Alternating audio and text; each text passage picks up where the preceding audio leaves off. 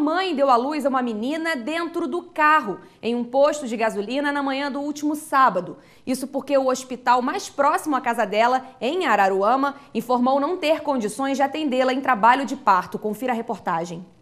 O caso aconteceu em Araruama, na manhã do último sábado, quando Débora Silva de Lima, de 26 anos, grávida de oito meses, foi até o Hospital São Silvestre, junto com o marido Anderson Ferreira, no centro da cidade, buscar atendimento. Ela sentia fortes dores e já entrava em trabalho de parto. Ao chegar na recepção do hospital, uma surpresa: não havia médicos disponíveis para fazer o parto. A atendente aconselhou a família a buscar ajuda no hospital em Bacaxá, aproximadamente 20 quilômetros dali.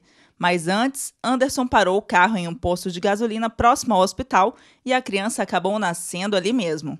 Débora e marido pararam nesse posto de gasolina para abastecer o carro, naquela bomba ali. Foi quando tudo aconteceu e o Fernando presenciou tudo. Conta pra gente, Fernando, o que foi que você viu?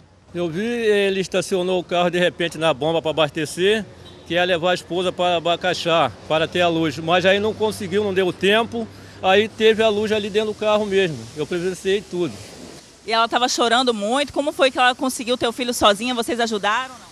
Nós tentamos ajudar, ligamos para o bombeiro, mas o bombeiro demorou a chegar, mas o esposo fez, fez o parto dentro do carro mesmo. Após a criança nascer, os três foram para a UPA da cidade, onde Débora recebeu os primeiros atendimentos.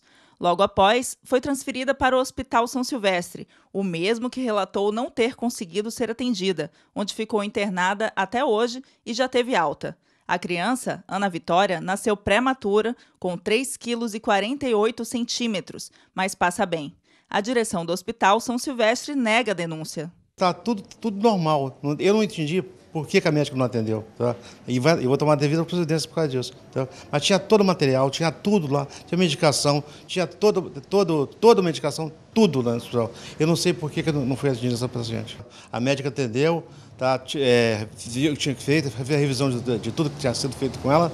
A Secretaria de Comunicação da Prefeitura de Araruama informou que a administração da unidade não é de responsabilidade do poder público, e sim de uma fundação filantrópica. Informou também que a Prefeitura faz um repasse de 400 mil reais mensais e que esse repasse está em dia.